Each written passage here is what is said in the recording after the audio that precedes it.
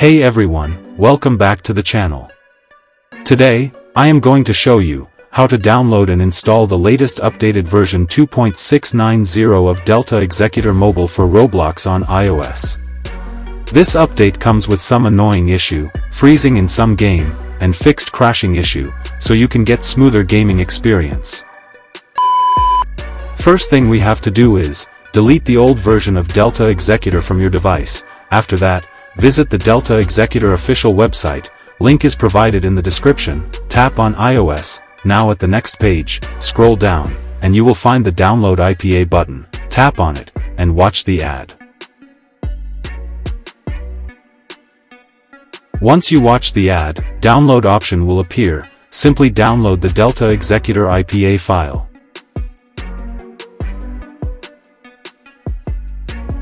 Once you have IPA file, now we have to side-load it using any side-loading apps like eSign, KSign, Feather, SideLoadly. For this video, I am using Flexdoor to install the Delta Executor IPA file. If you guys do not have any side-loading apps, watch our video from the description, and install any of them on your device.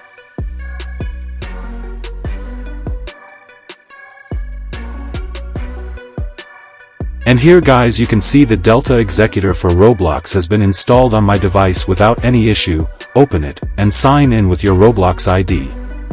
And that's it guys, you have successfully installed, the latest version of Delta Executor on your iOS device, thanks for watching guys, hope this tutorial helped you out, please like the video, subscribe our channel, and hit bell icon for more Roblox tutorials.